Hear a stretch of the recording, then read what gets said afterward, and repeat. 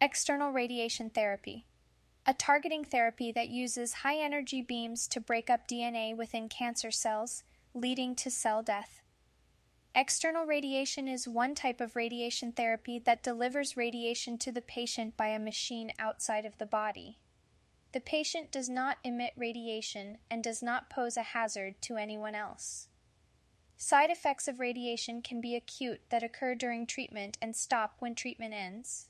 They could be late, which means they occur after treatment and can last weeks, months, or years. Some side effects may become chronic or permanent. External radiation side effects vary depending on the site of treatment. Fatigue is the most common side effect that patients experience. Radiation dermatitis is local skin irritation and inflammation from radiation treatment. Therefore, it is important to educate patients going through radiation on how to protect skin to promote healing and prevent infection. For example, protect skin from sun exposure during and after treatment. Use a sunscreen of SPF 30 or higher. Wear long sleeves and pants when outside.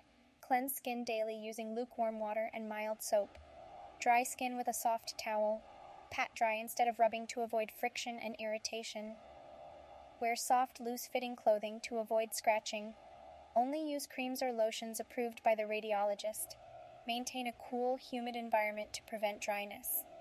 Avoid temperature extremes such as using heating pads or ice packs.